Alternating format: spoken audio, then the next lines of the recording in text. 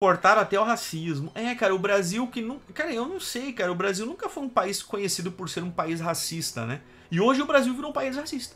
Tipo, dos últimos anos pra cá, o Brasil do nada virou um país racista. Eu, eu não consigo. Claro, eu não sou preto, né, irmão? Eu não sou preto e tal.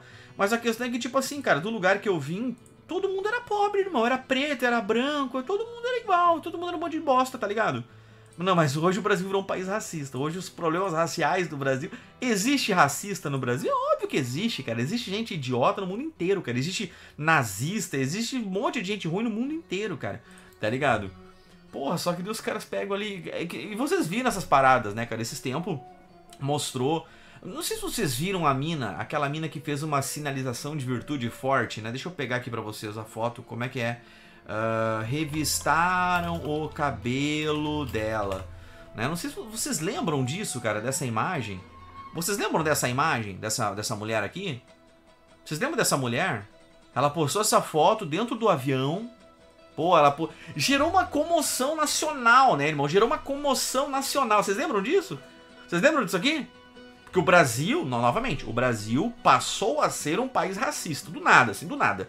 Não sei, cara, eu não sei. Eu já, eu, ali no Discord, cara, tem um monte de gente que, que, é, que é preta, tá ligado? E eu converso, galera, o que, que vocês dizem do racismo? Eu converso. Ah, cara, é um assunto recorrente no nosso Discord. É um assunto recorrente no nosso Discord. E aí, cara, o que, que tu sente? O que, que tu vê? E, cara, não sei, cara. Não sei se a galera que tá ali é based demais. Eu não sei qual é, é a diferença. Mas essa mina tirou uma foto ali toda triste dentro de um avião. Meu Deus, galera, acabaram de revistar meu cabelo, né? E, cara, eu olhei essa porra e pensei, pô, é um, tipo, me parece um absurdo alguém revistar o cabelo de alguém, assim como seria um absurdo alguém querer revistar minha barba, né? Se tem um lança-míssil aqui dentro, entendeu? Até porque quando tu vai no aeroporto, todo mundo que já pegou um avião, que já foi no aeroporto aí, tu passa por um scan, cara, tu passa por, por um raio-x, tá ligado? Então, na, na real, maluco, não precisa revistar teu cabelo tu já passou por um raio-x, irmão. Eles já te escanearam de cima a baixo. Tá ligado? Se tu tiver com um plug no cu, eles vão ver o bagulho. Sacou qual é que era? E aí o que acontece? Cara, gerou uma comoção na internet, cara. A esquerda, a esquerda ficou com, com, com a parede uterina latejante, todo mundo começou a fazer vídeo, todo mundo começou a fazer vídeo, é um absurdo, esse é o aeroporto, essa é a companhia aérea, boicotem a Gol, a Latam, sei lá quem é que era das companhias aéreas ali e tudo mais. E aí a companhia aérea veio e falou, cara, uh, não aconteceu nada disso, pessoal. Nós temos as câmeras, nós temos tudo é filmado nos aeroportos, né? Tudo é filmado. A mina passou direto pela, não teve revista nenhuma, ela passou direto, ela foi e tudo mais. Só que você tá entendendo que a esquerda imbuiu na cabeça da galera que tu precisa ser uma vítima profissional. Tá ligado? E o grande problema, né? Não lembro onde é que eu escutei isso, mas uma pessoa comentou o seguinte: que no momento que tu escolhe ser uma vítima, você acaba sendo o seu próprio opressor. Sacou qual é que era?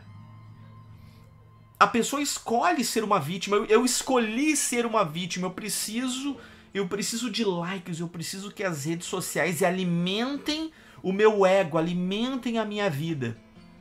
Entendeu? E aí o cara vai lá e cria um não problema e passa, tá ligado? E passa a fazer essa cloud, é, essa, essa parada de cloud to cloud communication, né? Palhaço para palhaço conversando. Então, tipo assim, e muitas vezes funciona. Porque a gente está falando agora aqui no caso de um aeroporto. Num caso onde tinha câmeras. Tinha câmeras. Cara, tu.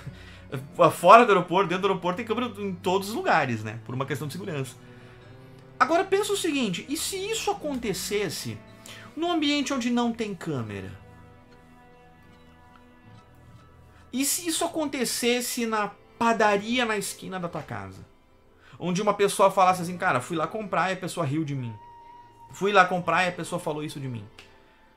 A gente está dando um poder muito grande, e eu acho que a liberdade de expressão tem que ser livre, obviamente, né? Mas a gente está pegando não problemas e botando um foco muito grande e ecoando aquilo, né? Num echo chamber, né? Ecoando aquilo de uma forma e essas. E, e isso aqui sim foi uma fake news, só que essa pessoa eh, provavelmente. Provavelmente ela não foi presa, provavelmente ela não respondeu nenhum processo, provavelmente ela não, não aconteceu nada com ela. Mas dependendo se a tua cor fosse diferente, se a tua filiação política fosse diferente, dependendo das coisas, dependendo da lente que está olhando o caso, poderia ser algo muito diferente. Nós temos exemplos dentro do Brasil hoje onde homens, principalmente, a mulher falou que eu xinguei ela, então ela botou um processo em mim, perdi minha casa, perdi minha família, perdi meus filhos. Tipo assim, sabe, as leis tá faltando, tá faltando voltar a tal da isonomia perante a lei. Tá faltando, tá faltando voltar isso. Entendeu? Eu acho um caso de racismo absurdo, claro que racismo é absurdo e as pessoas que cometem racismo têm que ser julgadas dentro da lei e cumprir a pena que for e acabou a história, ponto final. Só que o grande problema é, não, mas veja bem, calma lá, entenda, pera aí, entenda, entenda como o racismo pode ser bom, entenda como a morte de 100 mil pessoas no Rio Grande do Sul pode ser bom, entenda como não sei... Tudo parece que tem uma... Tudo parece que tem uma mão invisível ali, sabe? Às vezes aumentando uma coisa que não existe ou diminuindo algo que é muito importante. Entendeu? E aí a gente tem que ver de quem são os interesses de aumentar um caso desses ou diminuir um caso diferente. Entendeu? Então, tipo, acho que é uma coisa que a gente precisa prestar muito atenção nas redes sociais, nas fake news, nessas coisas arada toda aí. E também, cara, parar de dar bola para não problemas. Tá? Parar, a gente precisa parar de dar bola para não problemas. Ao meu ver, é só isso que a gente tem que uh, seguir. Vamos focar em problemas que a gente consegue resolver. Vamos focar em problemas reais, em problemas de verdade. E depois a gente começa a, a, a ter problemas como a Suécia, tá ligado? Como a Suíça, como aí países nórdicos aí, tá ligado? Depois a gente vê isso aí, entendeu? Depois a gente vê isso aí.